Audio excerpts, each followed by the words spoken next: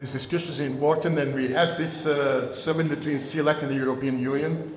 But to get into the mind of some of the European leaders, I want to quote uh, a diplomat uh, some uh, days ago who said to the uh, Euronews, and quote, it seems that governments of Latin America and the Caribbean want to be seen as equal partners.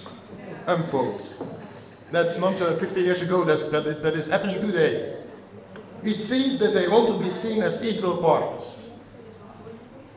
So in that man's mind, uh, there are no equal uh, partners. I think that's a, a, little bit a problem of, of, of, the leadership in Europe, or some leadership in Europe, uh, actually today.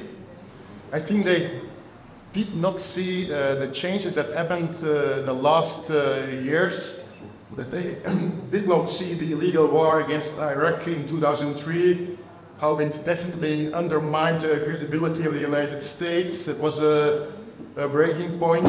They failed also to see the financial crisis of 2008, how it was uh, undermining the credibility of the Western uh, financial institutions. That was also the second breaking point and how the reaction of this, to this uh, financial crisis the BRICS was founded, was a reaction uh, of this, uh, this uh, financial crisis.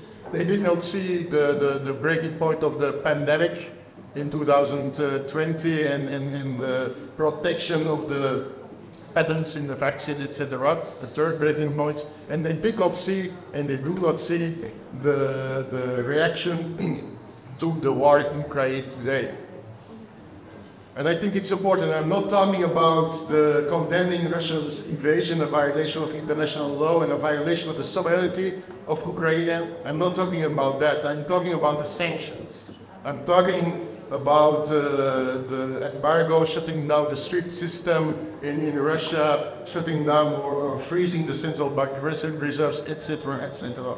And I think everyone knows these sanctions today that happens against Russia will be applied tomorrow against uh, other countries, and in fact are already implied against uh, many countries, like, for example, against Cuba with its illegal blockade. Uh, and so here in the West, uh, they failed to see this breaking point since 2003, this, this four main breaking points. And recently, uh, Fiona Hill, she was a staff member of the, the Security Council of the United States. She said that the vote against the sanctions in the United Nations was a mutiny of the South. So I, have been always been a fan of mutiny, so I, I, I think it's a good thing that she said that. Uh, but to conclude, I think the world is rapidly changing. I really think the world is, is, is now another place than 50 years ago, and that, that, that we are somewhere seeing the convulsion of a descending world order, and that the United States is retract, retreating itself into protectionism and new uh, trade war. And they want to, to reduce the world trade to, to a zero-sum game with only a winner or a loser. They want to force everyone to choose a camp in the new uh, Cold War, etc., etc. And in that context is the question, what position will Europe take in this conflict? What position will Europe take in, in this, this context? And I think European Union, the Europe must find its own way, its own democratic way.